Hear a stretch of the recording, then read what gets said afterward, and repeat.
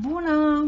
Astăzi vreau să vorbim despre obiceiuri sănătoase, despre obiceiuri pe care am început eu să le am în acest moment, despre lucruri uh, importante în viața noastră, despre lucruri pe care trebuie să le eliminăm, lucruri pe care trebuie să le introducem și, de ce nu, lucruri care să ne ajute să fim uh, mai buni, mai uh, optimiști, mai pozitivi și, de ce nu, poate mai să avem mai mult succes pe viitor. În primă fază am spus să bem apă și aici mă refer la apă plată. De ce? Pentru că apa hidratează, ne ajută să avem un corp sănătos și, bineînțeles, organele la fel sunt sănătoase. Încercăm să nu bem calorile, încercăm să le mâncăm, de aceea trebuie să ne ferim de tot ceea ce înseamnă sucuri din comerț. În al doilea rând, am gândit să vă spun să nu săriți peste micul dejun, pentru că este cea mai importantă masă a zilei. Este foarte important să avem micul dejun, să nu sărim peste, pentru că dimineața punem organismul în mișcare. Mâncând foarte bine dimineața, deci micul dejun ar trebui să constituie principala masă a zilei și cam cea mai importantă din punct de vedere caloric și uh, nutrițional, ne punem uh, pur și simplu motorașul în mișcare, ne punem uh, la treabă fiecare organ în parte, îi oferim organismului nutrienții, macronutrienții, micronutrienții, mineralele de care are nevoie și în acest fel suntem gata pentru o zi frumoasă, excelentă și plină de vitalitate, spun eu. De aceea țineți cont că micul dejun trebuie să fie variat, să nu ne plictisim să avem același mic dejun în fiecare dimineață, să ne plictisim de el. Trebuie să fie un mic dejun adaptat nevoilor voastre zilnice, trebuie să fie un mic dejun, nu știu, pregătit cu o seară înainte sau să-l pregătiți dimineața în funcție de cât timp aveți la dispoziție, dar niciodată să nu vă gândiți să spuneți că nu am avut timp pentru micul dejun. După cum puteți vedea, pe imagini eu am pus câteva idei de mic dejun, nu știu, poate vă inspiră, poate vă ajută să, să vă creați și voi așa o mică clinică de sănătate la voi acasă, dacă pot să-i spun așa.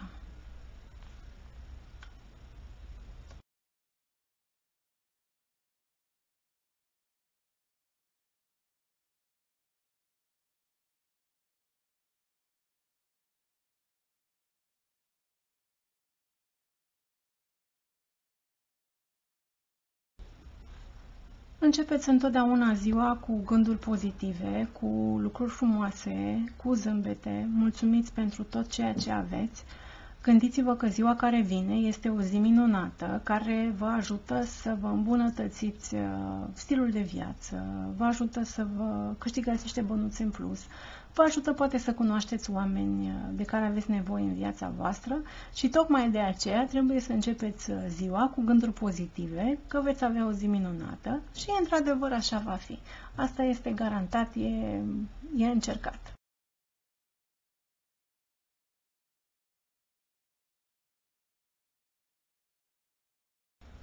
Respectați orele de somn.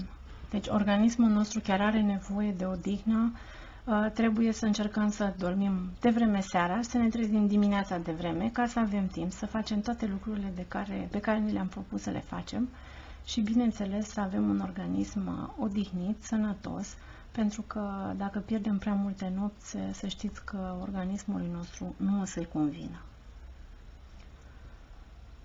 Aici mi-am propus eu să vă arăt că trebuie să ne fixăm niște misiuni, niște ținte, niște goluri, niște chestii pentru luna care vine și să ne gândim așa că e un, la capătul celălalt al drumului, se termină luna și când ajungem acolo, toate lucrurile care ne-am propus să le facem trebuie să făcute și nu trebuie să sărim peste nimic, trebuie să îndeplinim tot ce ne-am propus să facem. În același timp, foarte important este să ne facem liste cu ce avem de făcut în fiecare zi. De ce? Pentru că așa nu vom mai spune lăsăm pe mâine, lăsăm pe poimine sau uh, fac altceva în locul a ce trebuie să fac astăzi. Nu. Ne-am făcut listele, verificăm în fiecare zi, seara mai ales, vedem dacă am respectat uh, lista, ca să nu ne aglomerăm pe cea de mâine, nu de alta. Sunt lucruri care trebuie făcute la timpul lor și de aceea ne facem listuțe. După cum puteți vedea, eu v-am pus așa câteva fotografii cu mai multe tipuri de organizatoare de pe zile. Poate vă dau idei, poate vă încântă, poate vă plac și în așa fel, în acest fel vă puneți și voi puțină ordine în ceea ce aveți de făcut. Știu că mulți dintre voi sunteți foarte ordonați și aveți așa o ordine în viață și în lucruri și în gânduri, dar mai sunt care sunt puțin așa mai dezordonați și care chiar au nevoie de, de puțin ajutor din partea noastră.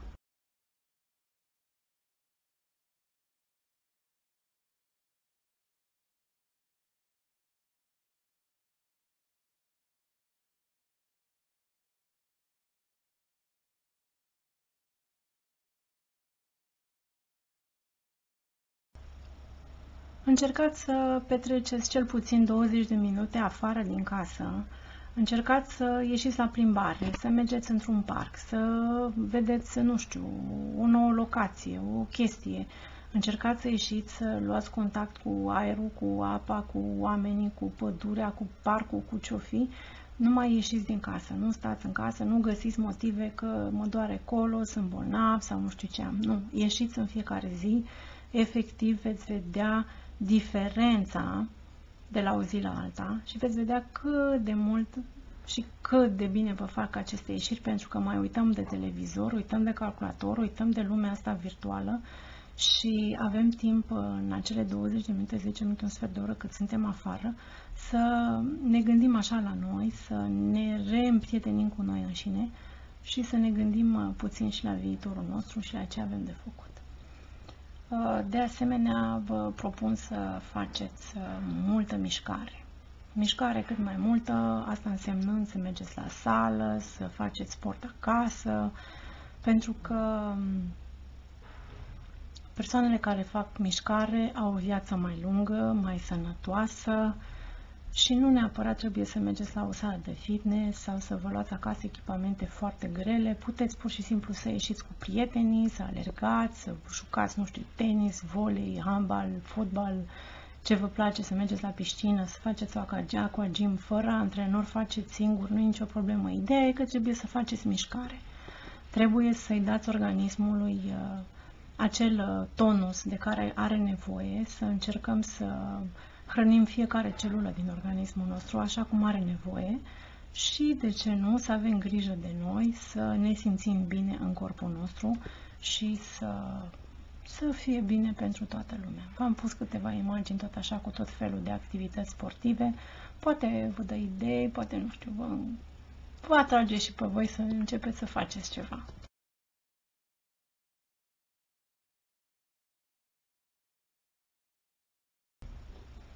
Mănâncă sănătos, am intitulat eu punctul 9 și aici mă refer că ar trebui să uităm puțin de mâncărurile tradiționale românești care sunt foarte grele și foarte grase. Nu spune nimeni să nu le mâncăm, dar uh, mai rar, la ocazii speciale, așa, la Paști, la Crăciun, la o, o zi extraordinară, Încercăm în cursul anului să ne axăm mai mult pe produse sănătoase, să gătim în casă, să uităm de fast food, să nu mai mergem toată ziua pizza, șaorme și alte nebunii, să încercăm să gătim cu ingrediente puține, dar mâncăruri gustoase și bune.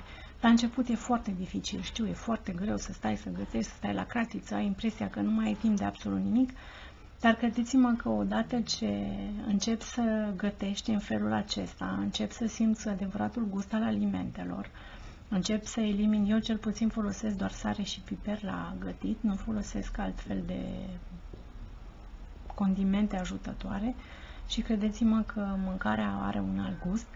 Am început să prepar mâncarea cu totul și cu totul altfel, la abur, la cuptor, la grătar, fiartă, și chiar rezultatele sunt extraordinare. Mulți dintre voi deja știți uh, rezultatele mele de până acum și eu sunt foarte, foarte mulțumită. La punctul 10 am scris citește mai mult.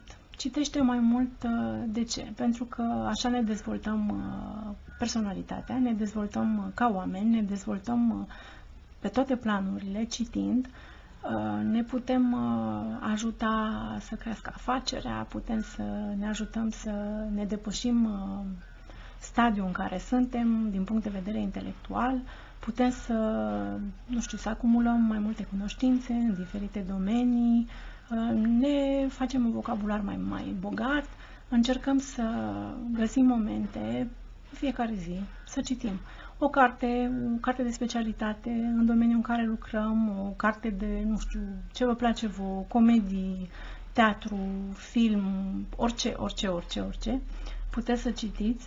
Ideea e că cititul uh, nu a făcut rău nimănui, din contră ne ajută să ne relaxăm, cel puțin mie îmi pune imaginația în funcțiune și credeți-mă că mă afund așa în lectură și pur și simplu îmi imaginez că sunt acolo încerc să-mi imaginez fiecare bucățică și fiecare colțișor din decor și din, nu știu, din cum arată personajul și așa mai departe.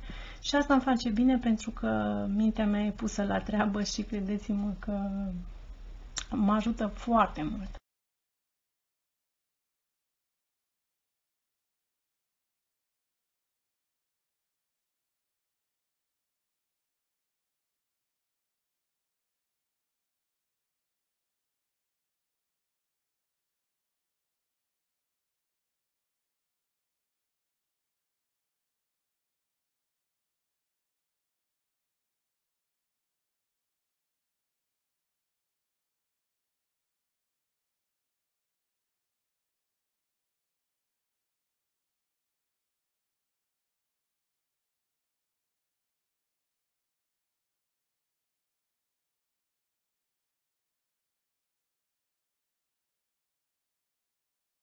La punctul 11 am spus să elimini din viața ta persoanele negativiste și toate lucrurile care îți consumă energia fără rost.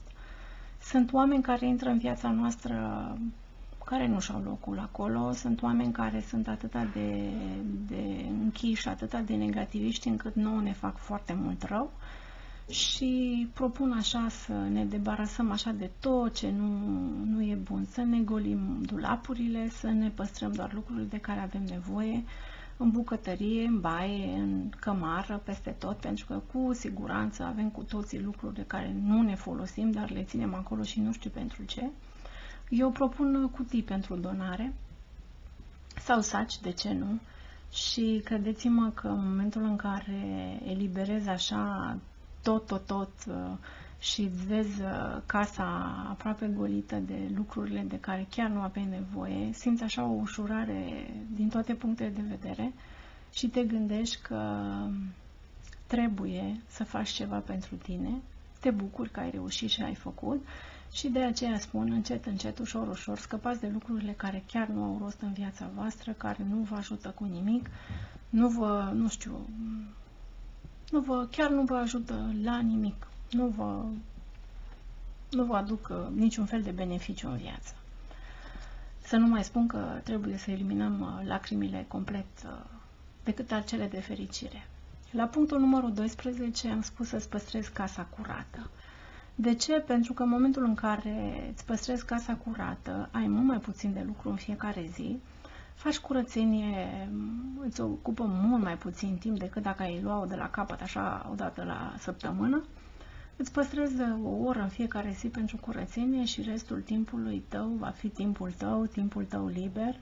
Oricui îi place să trăiască într-o casă curată, oricui îi place să intre într-o casă curată și atunci când vii acasă și deschizi ușile așa și vezi că totul strălucește de curățenie, atunci te simți foarte bine, te simți ca acasă și din momentul acela te relaxezi complet, uiți de toate grijile și toate problemele din timpul zilei și bineînțeles că încerci să faci lucrurile în așa fel încât să îți rămână timp și pentru tine și pentru bucuriile tale.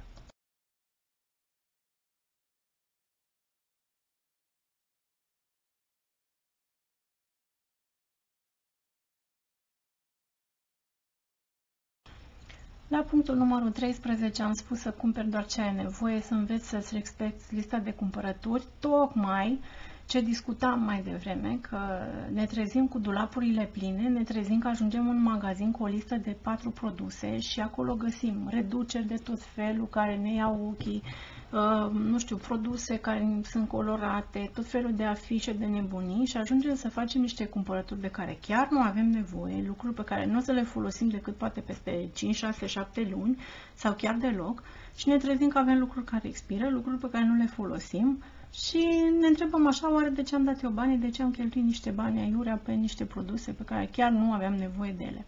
De aceea e bine să ne ferim de această capcană a marilor magazine care cu reclame colorate și frumos uh, împachetate ne uh, fac să cumpărăm și să cheltuim banii mai mult decât am avea nevoie. De aceea e bine ca lista de cumpărături pe care o facem de acasă este acea listă cu produse de care chiar avem nevoie și cumpărăm strictul necesar.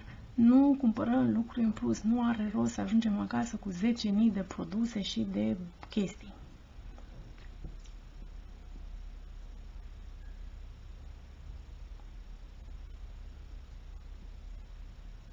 Și la ultimul punct am spus să fii tu însăți. De ce? Pentru că în ultima perioadă văd din ce în ce mai mulți oameni care trăiesc uh, viața altora, trăiesc din povestirile altora, îți povestesc niște chestii pe care nu le-au făcut în viața lor. Sunt oameni care nu au trecut și nu au viitor. Sunt oameni care pur și simplu nu vor să-și accepte, nu știu, viața, nu vor să-și accepte personalitatea. De aceea spun, fii tu însăți, fii ceea ce ești, bucură-te de ceea ce ești, bucură și pe cei din jurul tău și, ca de obicei, nu uita să zâmbești pentru că este foarte, foarte, foarte important. V-am pupat! Ba-bum.